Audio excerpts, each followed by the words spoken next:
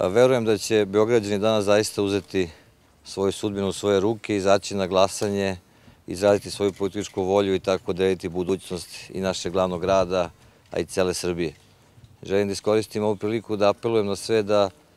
ipak malo smanjimo tenzije i sve ostale ovaj noćešnji događaj koji se desio u Brenovcu, našem gradskom odborniku, kome je spaljeno senik i određena mehanizacija pored kuće na drugom delu sela spaljena druga kuća i napisano da je izdajnik jednostavno ne bude neko pravilo koje će obeležiti ove izbore, već potez nekih pojedinaca koji ne žele dobro ni svome gradu, ni svoje zemlje. Zato pozivam sve da zaista sačuvamo hladne glave, da glasamo i da tim potezom olovke i ruke pokažemo našu izbornu volju, a ne nekim drugim kao što je to bilo noćas.